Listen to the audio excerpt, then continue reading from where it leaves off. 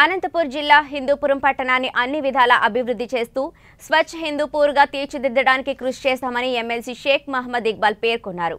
ఈ సందర్భంగా Hindupur municipal commissioner Venkateswarlu ఆధ్వర్యంలో పారిశుద్ధ్య పనులు రోడ్డు వెడల్పు చేసే పనులు ప్రారంభించారు. ఈ కార్యక్రమానికి ఎమ్మెల్సీ షేక్ మహమ్మద్ ఇక్బాల్ హాజరై జెండా ఊపి సమగ్ర పారిశుద్ధ్య పనులను ప్రారంభించారు. ఈ కార్యక్రమంలో ఆయన మాట్లాడుతూ పరిసరాల పరిశుభ్రతతో పాటు వ్యక్తిగత పరిశుభ్రత పాటిస్తే ప్రతి ఒక్కరూ ఆరోగ్యంగా ఉండడానికి అవకాశం ఉందన్నారు నివాస ప్రాంతాలతో పాటు తమ వాణిజ్య సముదాయాలు దుకాణాల వద్ద పరిశుభ్రంగా ఉంచుకోవాల్సిన అవసరం ఎంతైనా ఉందన్నారు. పట్టణంలో ఎగుడు దిగుడుగా ఉన్న రోడ్లను చదును చేయడం ఖాళీ ప్రదేశాలతో పాటు రోడ్డుకు ఇరువైపులా ఉన్న పిచ్చి మొక్కలు ముళ్ళ పొదలను తొలగించడం జరుగుతుందని అన్నారు. అనంతరం జామియా మసీదులో నిర్వహిస్తున్న అభివృద్ధి పనులను ఆయన పరిశీలించి ఎమ్మెల్సీ షేక్ మహమ్మద్ ఇక్బాల్ కూడా స్వయంగా శ్రమదానం చేసి మానవత్వాన్ని చాటుకున్నారు.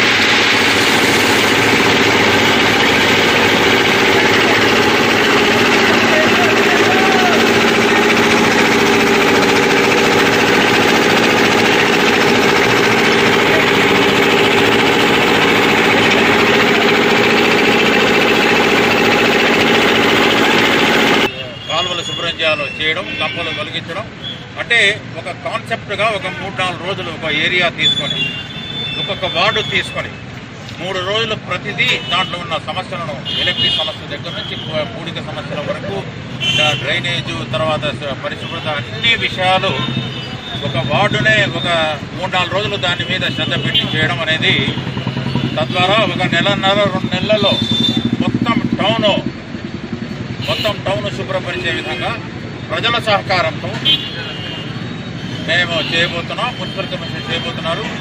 వారి మున్సిపల్ కమిషనర్ గారికి వారి సిబ్బందికి వారి అధికారులకు హృదయపూర్వక నమస్కారం ప్రజల తరఫున తెలియజేస్తున్నాం. రెడ్డి గారు ముందుకొచ్చారు. జేసీబీ ఒకటి అవసరం పడితే అవసరమైతే బాగుంటుందని కమిషనర్ గారు చెప్పిన వెంటనే మారుతిరెడ్డి గారు కూడా ముందుకు వచ్చి ఆయన నేను నా జేసీబీ పెడతాను సార్ అవసరానికి బట్టి మా ప్రజల కోసం వాడుకోవచ్చు అని చెప్పినందుకు వారికి ఇంకా ఒకటి చెప్పారు ఆయన. మా మున్సిపల్ సిబ్బంది ఎవరైతే ఉన్నారో వారికి అందరికీ ఎన్ని రోజులు ఈ పని జరిగితే కూడా అన్ని రోజులు బ్రేక్ఫాస్ట్ తర్వాత అరేంజ్మెంట్ చేయడానికి వారు ముందుకు వచ్చారు వారికి ధన్యవాదాలు చెప్తున్నాను. ఈ విధంగా మనం అందరము కలిసి